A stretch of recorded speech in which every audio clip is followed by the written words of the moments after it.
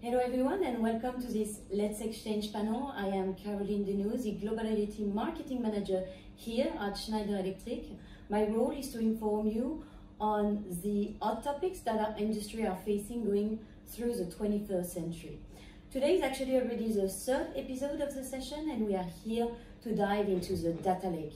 First, discussing the importance of having a data strategy and second, leveraging the new business opportunities from its application.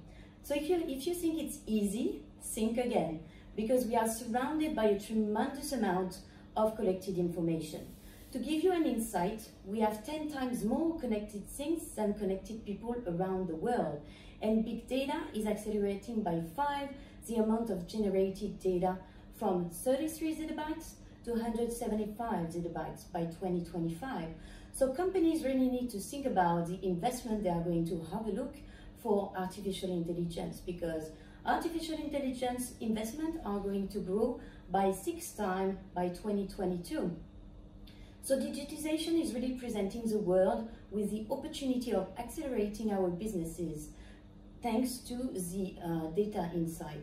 So the question is, will we be all seizing these opportunities?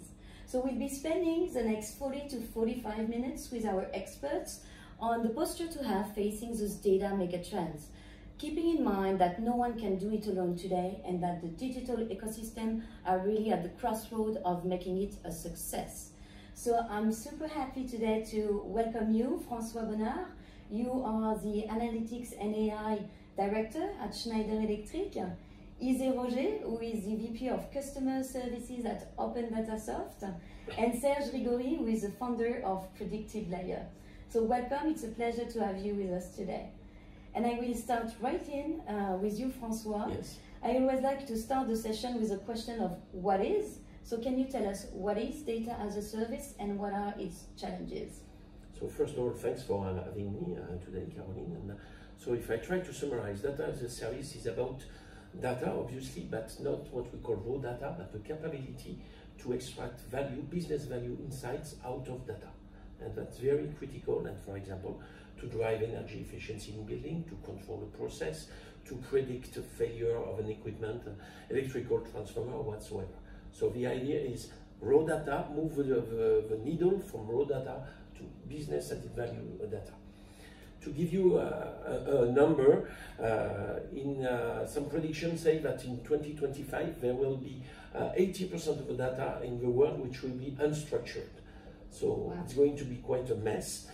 And the idea is we need to organize, and we need to organize along three directions. First direction is clearly to focus on data which really have business value. Second point, organize, industrialize the capability to transform raw data into these famous business additional added value uh, data. And the third one is also industrialize the capability to deliver this business added value data to the customer. So the, in, in um, if I try also to, uh, to go back to an example for Schneider, for example. Uh, Schneider, we have a portfolio of buildings all over the world. We have plants, we have commercial buildings, R&D centers, so various kind of buildings. Raw data for us are energy meters, energy bills of all these uh, buildings.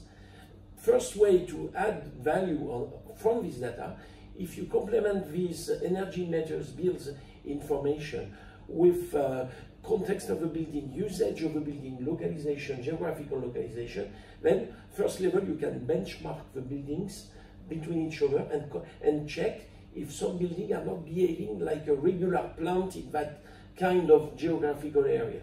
First additional value you can bring. Another one on one building, if you had real-time weather information, occupation information, you can predict a quite accurate energy consumption model prediction and therefore use it to control your HVAC system and all the systems in your building. So back to the bottom definition, uh, the data as a service is move from raw data to business added value uh, data, meaning value uh, data from which you can take business, sound business decisions. Thank you, Francois. I will be moving to you, Serge. Uh, so you founded Predictive Layer, a predictive analytics company. But before landing in your hands, data is going through a life cycle. Can you tell us a bit more about this data journey? Sure, and thanks for the, the question and thanks for the invitation also, Caroline. So, uh, what we can observe today is that is a kind of layered ecosystem of companies that reflect the journey of the data. So, we have companies that have the ability to generate massive amount of data, different technologies, and you have companies which are dedicated to transporting in a safe manner and trusted manner this data, and then you have companies that are there for for structuring and mastering this massive uh, set of data. And on top of that, you have companies like mine, like Predictive Layer, where we try to create some new insights with all these data. So to that, I, I founded Predictive Layer five years ago now. We're about uh, 25 people. Our mission is to uh, simply to generate short-term predictions, so short-term forecasts for different industries. To do so, we have built uh, artificial intelligence software that automatically will correlate this huge amount of data in order to find some, uh, some uh, pertinent insights that we translate into, into forecast. As you can imagine, the, the applications are manifold. So for instance, we work with different uh, energy uh, grid uh, operators, where for them we try to uh, forecast the imbalance that they're going to have at all the different points of the, on the smart grids. Means that we try to forecast the consumption, the production and then the difference so they can anticipate the balance of all this, these grid. But uh, what we do also for uh, big producers or big consumers is that we look at all the consumption, all the weather forecasting in Europe and we try to forecast the consumption and the production on the, on the energy market and also some uh, key indicators that help our customers optimize their purchase or optimize their sales of their, of their energy. So uh, obviously, when you do that, we enter into the critical uh, business decision. As to say, we're making we, we help our customers make decisions out of this data. So you can imagine the, how important it is for us to have uh, ruggable data that is worth uh, that is trustworthy, because we're making uh, big big decisions every day with that. Oh, thank you, Serge. So I'm going to move to you, to Ise. So you are part of the company of Opendatasoft uh, who provides leading solution of data sharing. Can you tell us a bit more on what is a data linking strategy and why is it so important? Uh, thank you. I am really uh, happy to be here to uh, share some insight about uh, our work. Uh, we, as François said, data has no value in itself. we need to combine them to be able to enrich their value. Uh, to, um, for example, uh, Schneider Electric asked us uh, if it was possible to build up a solution that would be like a data hub for all the research team in the world to make a place where they can get the data and uh, so downloading them and after put their results in a, in a platform. That's how we created Data Library for Schneider Electric. It's a solution where we publish uh, some data, like for example, uh, you were talking about uh, buildings uh, data from uh, sensors.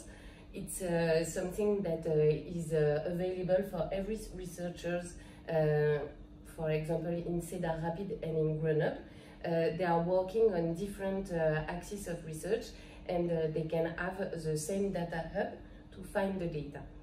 And also, the fact that uh, you can combine them with a processor, it makes them uh, more uh, useful for the researcher.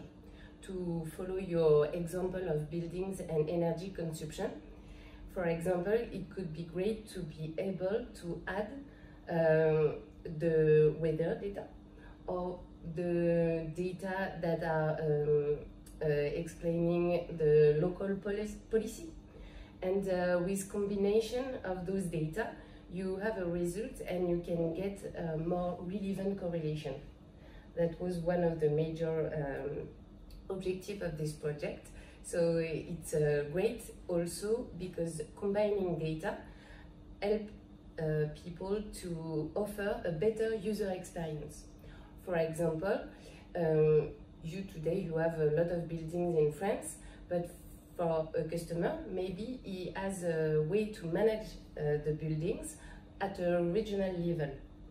So if you have a processor and you are able to take your geo point where uh, one building is, and you can grab all the administrative uh, hierarchy, you can say this building is in this city, in this department, in this region. So it helps the customer after to say, okay, I will put a filter, and when you are responsible for the Auvergne-Rhône-Alpes region, you can click on it and you will see only the data that concern you. And that was uh, the second part of the Data Hub ID, was the ability, the ability to distribute the right data to the right person. Because uh, too much information kill information and uh, it's uh, also a way to jeopardize usage so the idea in our solution is to have uh, features for security management that allow you to decide who sees what as a data producers. It's uh, a key factor of success for data projects because it uh, make them uh, it let them control their data after they produce it and also they can uh, distribute exactly what they want to the people who need those data so the end user will also have exactly what he was searching for Wow, that sounds overwhelming. So, Francois, it leads me to the next question. So, every process, every life cycle is facing silos. So, what are the difficulties that we are facing in the data scope? Yes. So let me let me try.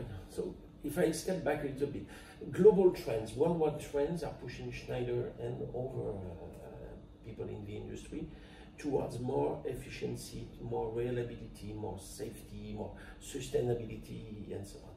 So clearly, as, as a company, Schneider is is leading the way, uh, is willing, is trying to lead the way of uh, digital transformation for energy management and automation. But back to, to, to your point of, of silos, we are, as a company, we are perfectly aware that we cannot achieve that alone. The trends, the, the, the stakes are so big that it's not a one company question. It's a global, and so it's about cooperation, breaking the silos, and that's why at Schneider we are improving every day, but we co-innovate, we co-sell, we co-design, we try uh, as often as possible to work together with other partners whatever their size, their kind uh, may be. Back to the silos, we are perfectly aware that in communication, you can have issues between partners, between organizations, departments, and on the technical side, you have issues of communication between systems, between products. And I will be lying if I, if I was saying it's not true. It, it happens, and these are the, the, key, the key issues we, we are trying to, to overcome. And so back to your point, communication, transparency and fluidity of information is really critical to break the silos between people and between systems. Mm -hmm. Serge, do you agree? How do you get more information, complementary data to turn it into business insight for your customers? You know, for, for us, I mean, uh, the, the foundation of what we do is the data. So, so for us, it's key to have a valuable data. So when we started the company, we had to connect to many different sources. The problem for us was not too much to do the connection. It's what happens after. So it's controlling and controlling and controlling again. the data is there, mm -hmm. that it's worth, that it's trustable. I mean, for us, it's the key. As I mentioned earlier, we, we, we're making a critical decision daily with this data. So for us, the, the, the, real challenge we, we are currently facing is uh, is being able to, to rely on reliable sources of, uh, of information mm -hmm. coming from different uh, different worlds. That's to say, often we, we have to connect to the ERP or CRM system, so that's I would say that's straightforward. But after afterwards, we need to connect to uh, to the weather, to to so many sources that uh, for a small company like us, it's not the core core for us is to do the correlation, is to do the to, to make the decision. So the challenge for us is really to to rely on uh, trust trusted uh, trustable uh, sources of uh, of information. Mm -hmm. So François, what would be what is the solution to this? huh? Simple question. Well, thank you for asking. It's a good question. So the solution, I don't pretend that. At least Schneider has been trying to put together what could be a step towards the solution, which which is uh, what we call exchange, which is a, a, cooperative, a, a cross-business, uh, open uh, cooperative platform. And really, I insist on open because uh, the idea everybody is welcome to join this platform, whatever you may be, system integrator, uh, tech company developer, like in, in, your context. Everybody is welcome to, to join uh, this platform. And, and uh, the, the, the, way we, we, we envision the, the value of it is put together expert innovators all together and be allowing them to share information, ideas, data, analytics, and stuff like that. So on this platform, you have three main capabilities. You have access uh, to APIs, analytics, so uh, toolboxes and assets. You have access to open and private uh, community in order to be able to, in full transparency or in some groups, to cooperate, co-innovate, uh, share ideas, uh, solution, and also marketplace because it's an important place to have everyone, every people in the partner, not only Schneider, every partner in this platform to be able to sell, buy, and do business. So that's uh, that's not the solution, but that is it's a solution Schneider is pushing to to break uh, these silos. And the idea is Exchange could be seen as a kind of way to balance between the raw data uh, supply and this advanced uh, um, added value data demand. If I take an example for um, of good example of what uh, exchange has brought to, to the game to the table. Uh, we, we had a, a, very large fast food company in Australia and there is a C-level guy somewhere, I don't know where, who was willing to have a, a synthetic KPI perspective on all the the, all these restaurants all over Australia are dealing with energy and doing improvement in energy consumption. So Exchange has, has allowed, for example, to use APIs which are available for products from Schneider, Resource Advisor, Facility Advisor, to use these APIs to integrate in their business application all the data, uh, energy data from uh, all the restaurants and bring to this C-level guy the synthetic KPI, energy KPI dashboard he, he, was willing to have.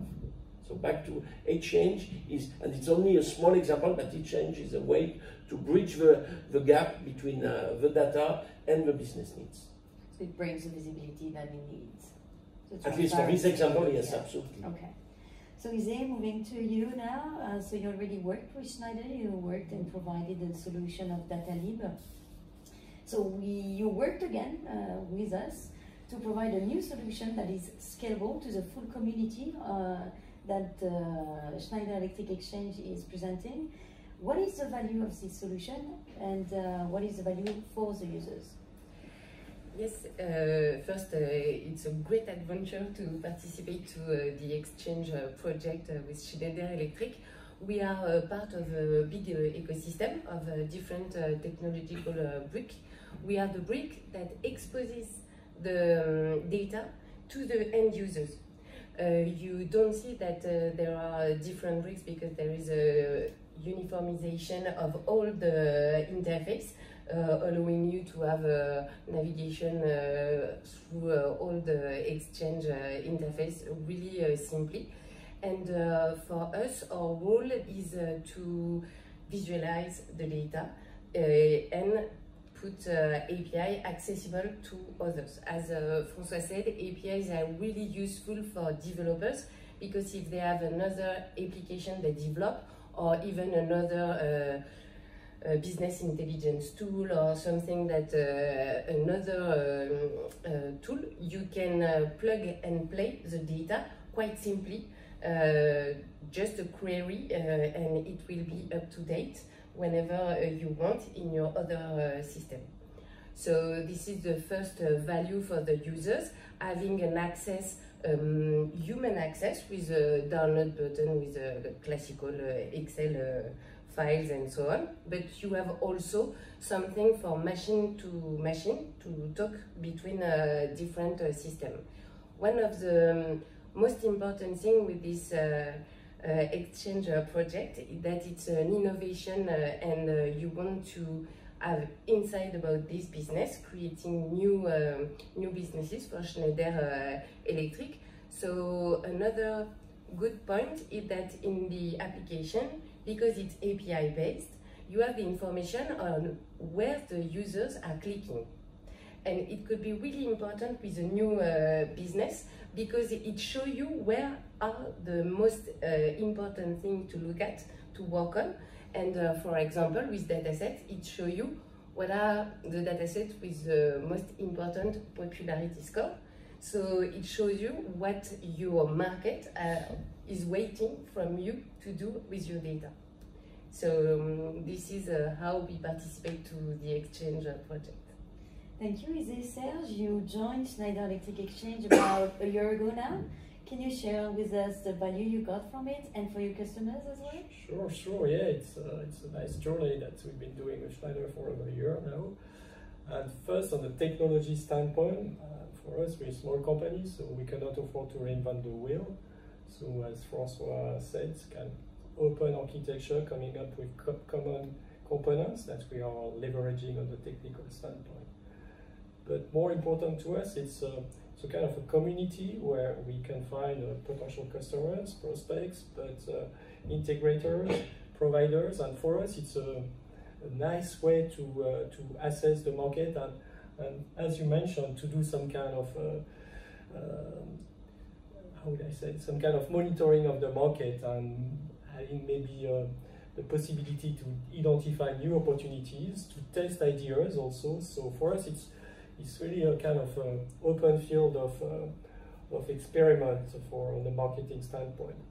Uh, last but not least, it's also a marketplace, so we've been pushing um, different products on on exchange, and for us, it's an opportunity to have a, a global coverage, a, worldwide visibility of our products. So we've been using also the, the APIs, so we are consuming data, and we are also publishing uh, some data on top of the data that we are consuming. So I, I guess we are the perfect um, scheme as uh, what uh, Francois wants about exchange and what uh, is uh, providing technically. So.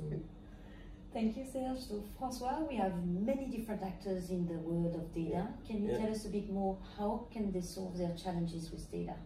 Yeah, so the idea is clearly back to, and thanks for the testimony because it's uh, perfectly in line with uh, our, our, expectation in building this uh, platform. But back to, to your point, uh, Caroline, clearly the exchange allows various uh, people, various kind of, uh, of stakeholders, if I may say, to cooperate, work together through the platform. Let's take a few examples. For example, you are a facility manager. And, uh, and uh, clearly here the idea is clearly uh, to leverage your raw data to build insights on the way you are going to monitor an HVAC system and identify there is a failure somewhere. You may use an API to forecast the failure. You may use only the data and your own calculation. Over example, you are building owner. What you want is you want, you want to get a LEED certification or something like that. The point is you can leverage people in the platform which are audit Uh, company for energy and you leverage their indicators, their, their, their, uh, their work, their input to demonstrate the level of LEED for your, for, for your building. Another example, you are in a food and bev organization. You are managing a plant and uh, you are obviously focused on getting good quality outcome products. And then what you, you have data and you have some issues, so you want to start an analytics competitions in order to, to from your data, so you're ready to share your data, and from your data, the uh, data scientist community uh, tries to find what could be a good uh, failure or bad quality model prediction for, for your food, specific food and bev. So you get this kind of insight. Uh, what else can I say? Uh, another example, you, you are a tech company, for example, um, um, predictive layer, and you want to enlarge the scope of your offers, digital offer, and you, you identify good data sets on the platform which may be used for you to challenge the new capability you are developing and improve it, test it, uh, thanks to the, uh, the data and the uh, application business this data represents. So you have, and, and I can go for like that for a long time. So these are only a few examples where we feel that Exchange is allowing various stakeholders to find what they need to work to develop their business and be better as a, as a global partnership. Mhm. So it's really a open ecosystem business platform, putting people together with the expertise and also a marketplace so no, everyone can join. It's not only a Schneider to people, it's a many to many. Absolutely, Um, and it's community. like maybe it's like 60s kind of mood, but it's not the point. It's clearly uh, sharing, and everyone at the end of the day gets a a good reward and return on, on its investment of sharing and becoming a member of this partner, partnership. Sorry for the French. Thank you. So we can see that data is really at the heart of digital transformation and that its success lies into collaborative communities. And it's really my invitation to you today to join and to register on Schneider Electric Exchange for you to get started to build your own success story. And I know that uh, sometimes joining a new platform can be a bit daunting, so you will be finding my contact information in the description of the video. You can send me an email and I'll make sure to redirect you to the expert who will be able to give you a tool and to get you there. So before closing the session, I just want to remind you that I'm preparing the agenda for 2020. So we are going to have those expert panel on a monthly basis. So if you have any hot topics that you want to hear about, you can just um, put a comment down the video and I'll make sure to have a look.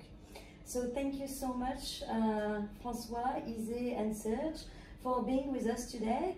And to you all, I'll, I'll see you next month to discuss on digital twin. So how can you fuel your digital twin to make it a reality? Thank you, and thank you to... Thank you, thank you Karen. Thank you, Karen, for the invitation. Thank you. It's a pleasure. Have a good one. Mm-hmm.